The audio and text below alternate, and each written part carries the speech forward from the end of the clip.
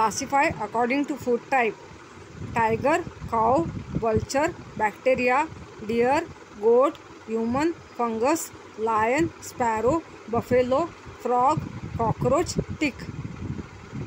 Carnivores, tiger, lion. Herbivores, cow, deer, goat, buffalo. Scavengers, vulture. Decomposers, fungus, bacteria. Granivores, Sparrow, insectivores, frog. Parasitic, tick.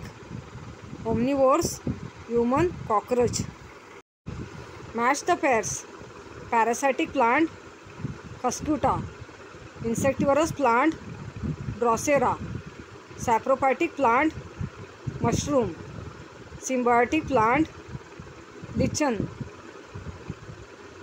Answer the following questions in your own words.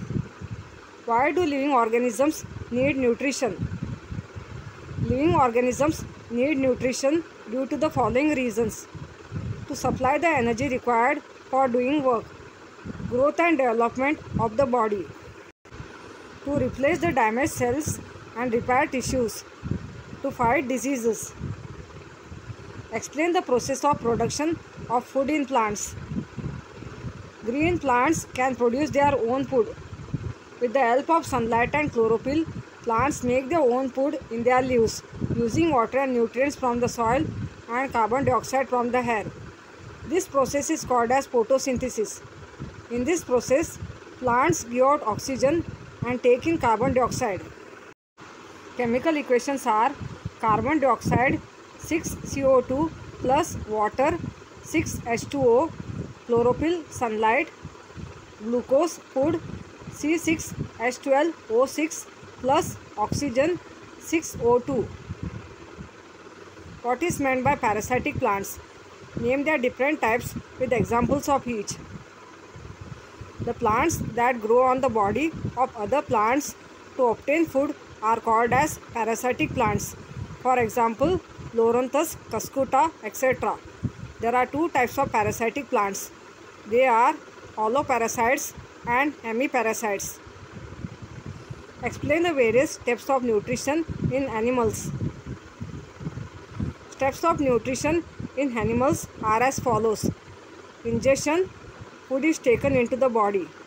Digestion, conversion of food into simple soluble forms. Absorption, transfer of soluble food to the blood. Assimilation, utilization of absorbed food by cells and tissues for energy production, growth and repair. Ejection, removal of waste products and undigested food from body. Name some unicellular organisms in which all life processes take place within their unicellular body.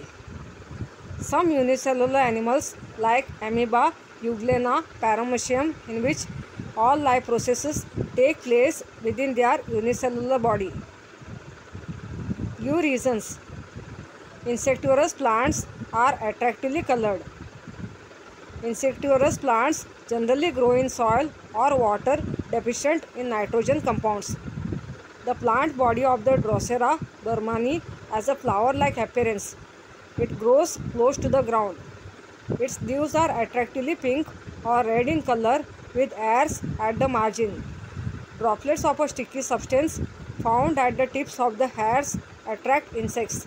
Therefore, insectivorous plants are attractively colored. Butterflies have a long tube-like proboscis. Holozoic mode of nutrition means the feeding of solid and liquid food by animals. Butterflies live on nectar from flowers. Therefore, to suck the nectar from flowers, they have a long tube-like structure called proboscis.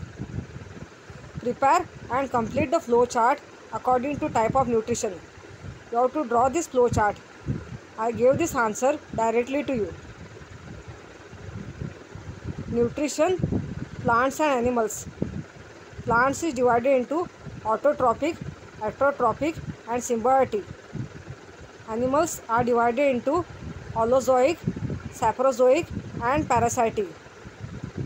Heterotrophic is divided into two types, they are insectivorous and saprophytic. Parasitic is divided into two types. They are ectoparasitic and endoparasitic. Think and answer.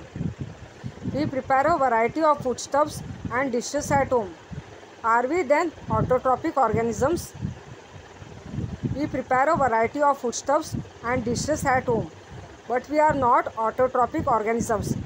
In autotrophic organisms, they have chlorophyll in their body and food is prepared here with help of sunlight, water and carbon dioxide for the organisms. But the food which we prepare at home is not generated in our body. Which organisms are greater in number? Autotrophs or heterotrophs? Why? The number of autotrophs is certainly more. The number of plants should be more so that they can be enough for the herbivores. Herbivores are dependent upon autotrophs. If autotrophs decrease in numbers, the heterotrophs too will starve and die. Therefore, in nature, the autotrophs are always more than the heterotrophs to balance the food chain. The number of heterotrophs found in desert regions is smaller. However, they are found in greater numbers in the sea. Why is this so? In desert region, due to scarcity of water and excess heat, very few cactus are found as autotrophs compared to sea. As autotrophs are less, number of heterotrophs dependent on autotrophs are smaller. Whereas in sea, due to greater numbers of autotrophs, greater number of heterotrophs are found. What damage or harm do ectoparasitic and endoparasitic animals cause. Ectoparasitic animals suck the blood of the animal on which it remains and endoparasitic animals get ready-made food from the body of animal in which it remains. This way, both the parasites make the animal weak by sucking their blood or by eating prepared food from them. Why is plant food not produced in any other parts of the plant except the green ones. The chlorophyll is present in the green parts of the plants. In these parts, photosynthesis takes place. This produces food. The non-green parts do not produce food due to lack of chlorophyll. Let's recall. What is malnutrition? Malnutrition is the state when the required nutrients for proper functioning of the body are not obtained through the diet. Imbalanced diet or overnutrition can cause malnutrition. Which are the ways to prevent malnutrition? Taking wholesome food and balanced diet is the way to prevent malnutrition. Similarly, as per our age and type of work, we have to manage our diet to prevent malnutrition. Which are the different substances excreted by plants. Why? Plants excrete substances like resins, gums, rubber, oil, etc. which are not of any use of the plants. However, for human beings, these are important commercial products. Plants do not have excretory system, so such substances are given out by the process of diffusion. Some substances are stored in the bark of the stem while some are deposited in the whole xylem vessel. Since these products are useless for plants, they are excreted by the plants. Can you tell how do plants produce their own food? Green plants produce their own food with the help of sunlight, chlorophyll, water, nutrients from soil and carbon dioxide from the air. This process is called as photosynthesis. How does ingestion occur in unicellular animals like amoeba? Amoeba does not have organs like hands and mouth. It is a unicellular animal. It can take in food through any part of the surface of its unicellular body. It surrounds the food particle from all sides to take it into the cell. After that, it digests the food with the help of different enzymes. Undigested food is left behind as the amoeba moves further with the help of pseudopodia. In unicellular animals like amoeba, euglena, paramecium, etc., all the steps of nutrition occur within their unicellular body. Use your brain power.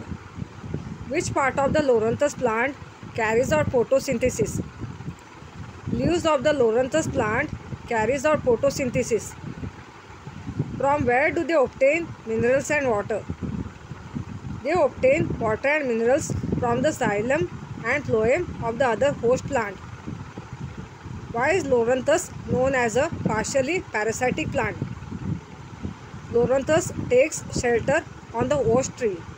It sucks the water and minerals from the host, but it can photosynthesize and prepare its own food.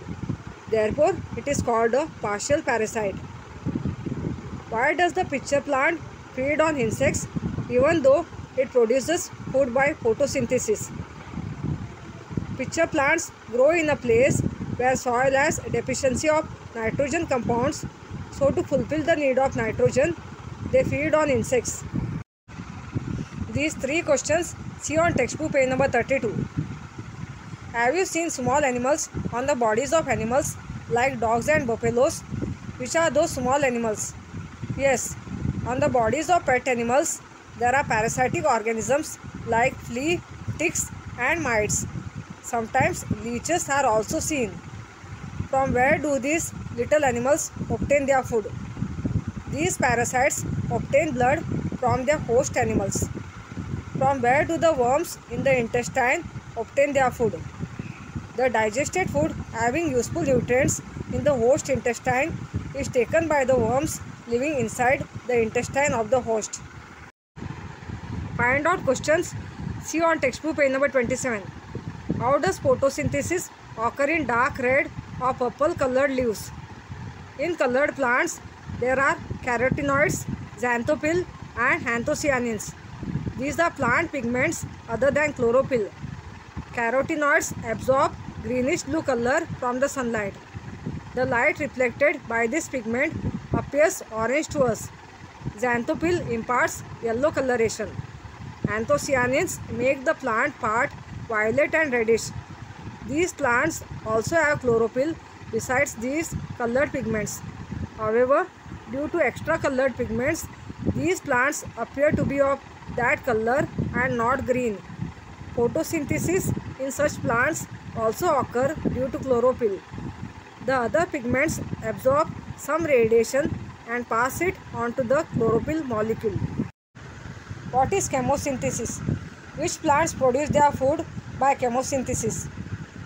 Using carbon dioxide, methane, hydrogen, hydrogen sulfide etc. as the sources of energy and producing food in this process is called chemosynthesis. No autotrophic green plant performs chemosynthesis. Only bacteria, microbes residing in the areas where sunlight does not reach perform chemosynthesis. However, chemosynthetic microbes are not plants. They are placed in another kingdom